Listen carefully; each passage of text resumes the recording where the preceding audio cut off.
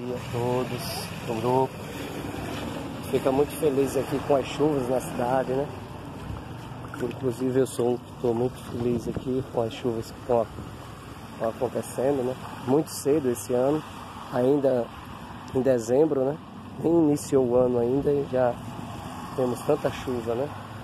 Mas ao mesmo tempo fico um pouco triste de ver a situação aqui, ó.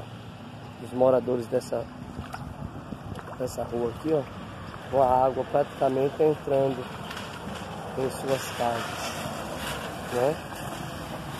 Um, problema, um problema crônico aqui já na cidade.